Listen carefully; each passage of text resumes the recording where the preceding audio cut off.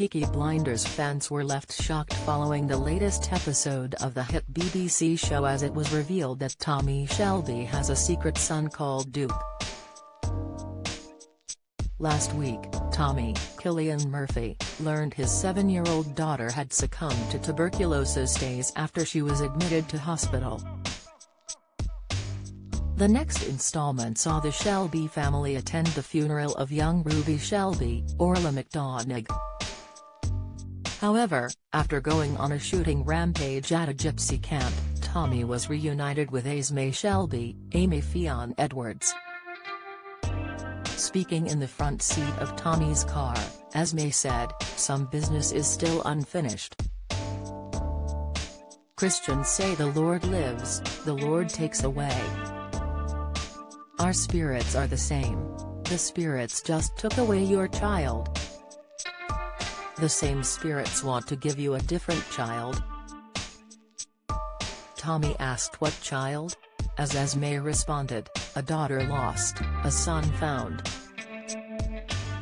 A young man then appeared on screen tending to a horse as Esme explained to Tommy about a woman he had slept with during World War I.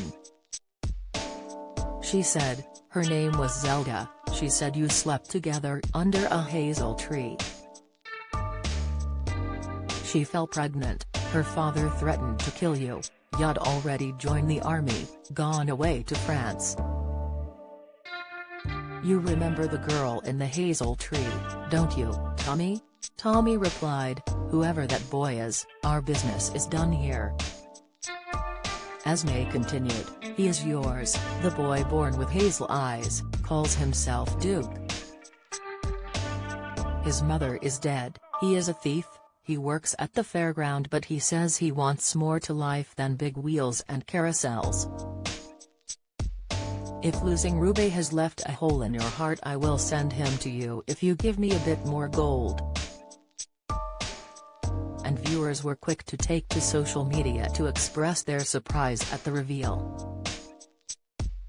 One wrote, Tommy has another son after going to his daughter's funeral say what hashtag Peaky Blinders.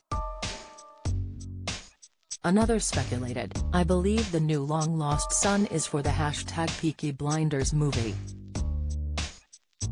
Apparently the plot is that new generation takes over as Tommy Shelby hands over the reins.